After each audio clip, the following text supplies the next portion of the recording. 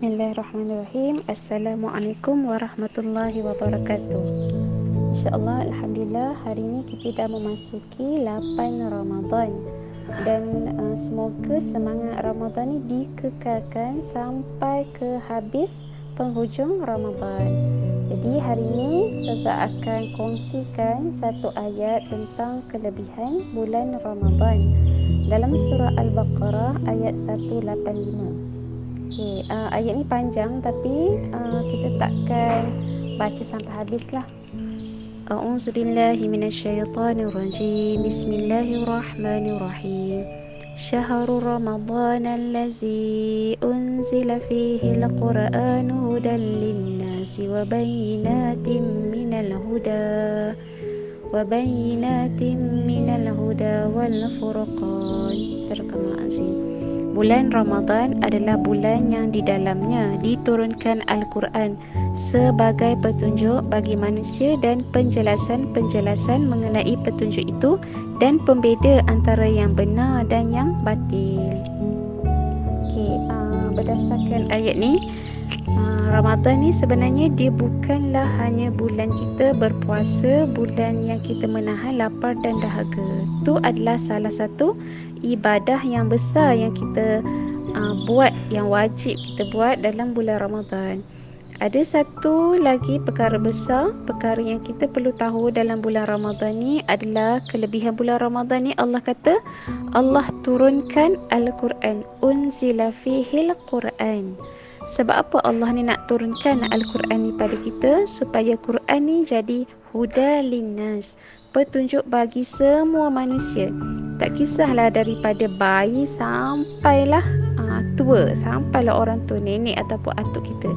Jadi kalau kita rasa oh kita ni darjah satu kita ni tak faham Al-Quran uh, yang paling utama adalah kita tahu Quran ni diturunkan untuk manusia.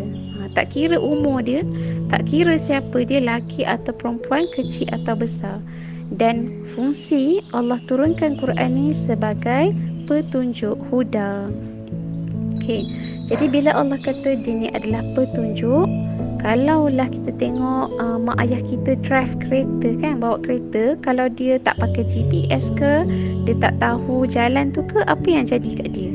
Ha, mesti dia sesat kan. Contohnya dia nak pergi Tesco, dia tak tahu jalan tiba-tiba uh, dia sampai dekat uh, stesen bas ke, uh, dia sampai dekat kedai-kedai tepi jalan ke. Uh, So jadi dia boleh tersesat. Jadi kat sini uh, Allah tekankan Al-Quran ni bukan je untuk kita baca, bukan je untuk kita pegang, untuk kita uh, kita uh, buat hatam Quran, bukan itu sahaja. Yang tu pun memang ibadah yang baik. Tapi uh, fungsi utama Quran ni Allah turunkan sebagai petunjuk, sebagai huda. Jadi kita kena gunalah uh, Al-Quran ni kita kena manfaatkan uh, Al-Quran ni sebagai petunjuk kita dalam kehidupan kita. Jadi sebelum kita uh, besar, sebelum kita betul-betul uh, fasih baca Quran, dari sekarang kita kena mulakan. Uh, kalau ada yang tengah baca Iqra' tu, dia kena baca Iqra' sungguh-sungguh. Uh, sebab melalui huruf-huruf yang dia kenal dalam Iqra' tu, dia akan pandai baca Quran. Dan siapa yang dah pandai baca Quran tu, dia kena lagi-lagi mahir dan uh, selalu membaca Quran sampailah dia boleh hafal surah-surah yang dia selalu akan baca dalam solat.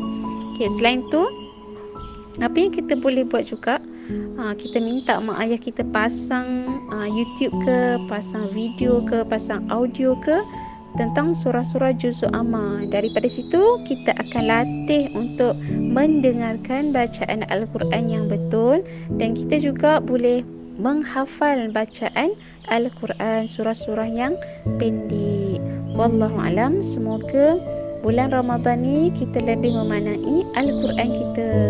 Kita lebih sayang Al-Quran kita, kita lebih cinta kepada Al-Quran kita. Okey, sampai situ saja. Wabillahi taufiq. Wassalamualaikum warahmatullahi wabarakatuh.